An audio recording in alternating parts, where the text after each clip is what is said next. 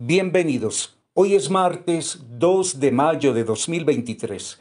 Esta es una edición especial para el Santuario de la Virgen de Chiquinquirá, Corazón Mariano de Colombia. Estos son nuestros cinco minutos de gracia. Fray Nelson Medina toma la palabra de Dios para este día. Juntos vamos a buscar una luz que ilumine nuestro día. Escuchemos. El Evangelio de hoy nos trae un potente mensaje de esperanza y aparece bajo un verbo que no es tan frecuente en la Biblia, arrebatar. Concretamente Cristo dice, nadie me va a arrebatar mis ovejas. Y por segunda vez dice, nadie puede arrebatar las ovejas de la mano de mi Padre. Claramente con ese verbo se está indicando quitar en contra de la voluntad. Nadie puede arrebatarme mis ovejas, dice Cristo. ¿Y por qué digo que este es un mensaje de esperanza?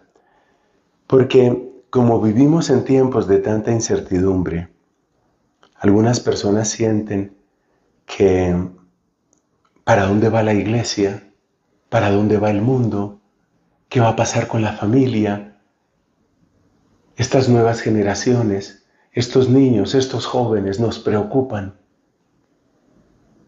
Frente a todas esas dudas, que no son irracionales ciertamente, frente a todas esas preocupaciones que tienen una razón de ser, claro está, frente a todo ello, observemos, nadie las arrebatará de mi mano, dice Jesús.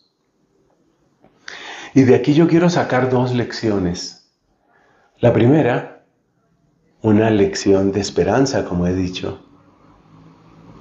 Cuando presentó su renuncia a la sede de Pedro, el Papa Benedicto dijo, la iglesia es de Cristo. Esto es importante saberlo. La iglesia no es de Juan Pablo II, la iglesia, con todo el amor a Juan Pablo II. La iglesia no es de Francisco, del Papa Francisco, la iglesia no es de Benedicto, la iglesia es de Cristo. Esto tiene que quedarnos claro a todos. La iglesia es de Cristo. Nadie las arrebatará de mi mano. Que están pasando cosas muy extrañas, por decirlo caritativamente, que están pasando cosas muy extrañas en aquel camino sinodal alemán que ya presentó sus conclusiones Cosas extrañas están sucediendo. Sí. Y cosas que lamentamos.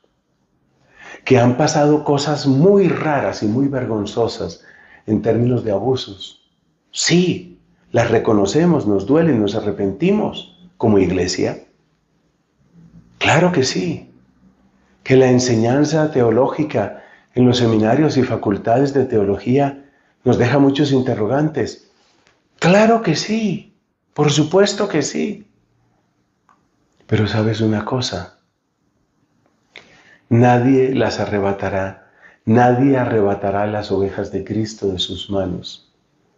Ahí hay un mensaje de esperanza. Pero también hay un compromiso para nosotros.